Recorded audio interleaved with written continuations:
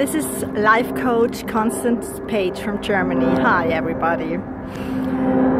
We want to blossom. We want to look good and be colorful even in fall. Even in the time of our life where things slow down.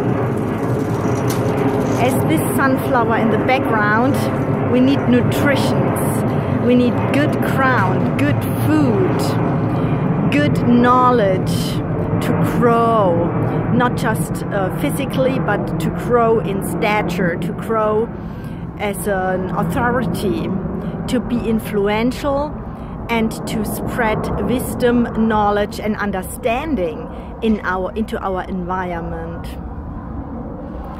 Well, this is um, a beautiful sunflower besides me and it grows in my front yard this year and it's just amazing because it's already the beginning of October and it's such a beautiful reflection of summer looking at that sunflower.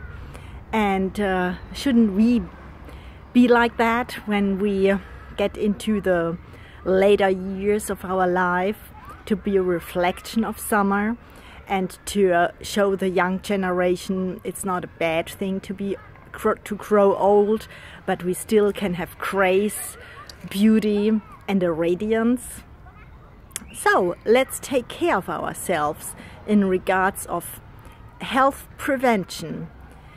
To do to be active in exercising in eating healthy foods small portions and also to be mentally strong in practicing conversations, being in circles of wonderful people as we are, to exchange our joy over life and to have thanksgiving in our hearts over the up and downs in life.